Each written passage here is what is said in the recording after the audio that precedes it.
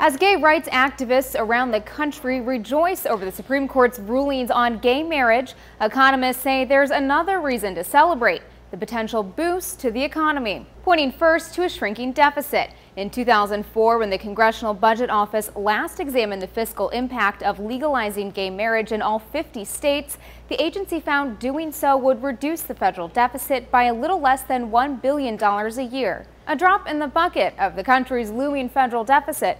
Plus, Wednesday's ruling only applies to the 12 states and the District of Columbia where gay marriage is legal. But researchers for a think tank on sexual orientation at the University of California maintain with more people filing taxes as married couples, states will rake in millions in more revenue, meaning less for the federal government to dole out. Then there's the potential we'll see a reduced dependence on welfare. A writer at Bloomberg says gay marriage is a fiscally friendly option for this reason, writing, Marriage makes people more robust against financial shocks and less likely to qualify for welfare programs.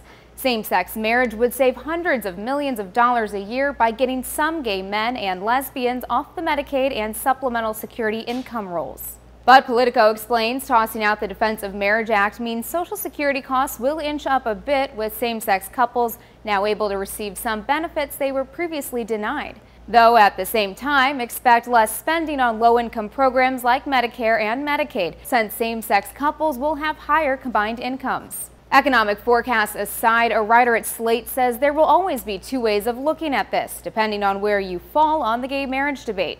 If you correctly think that marriage equality will bolster American marriage by allowing it to remain a relevant and modern institution for 21st century life, then you'll see long-term benefits. If you wrongly think that an end to discrimination will lead to the unraveling of heterosexual marriages, then of course you'll see a disaster here. With the court's decision, gay and lesbian married couples will be eligible for more than 1,000 federal benefits and protections.